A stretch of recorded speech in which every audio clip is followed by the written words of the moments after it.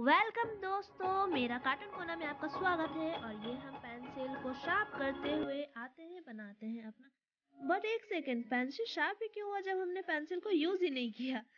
ये केवल वीडियो को थोड़ा इंक्रीज करने के लिए है।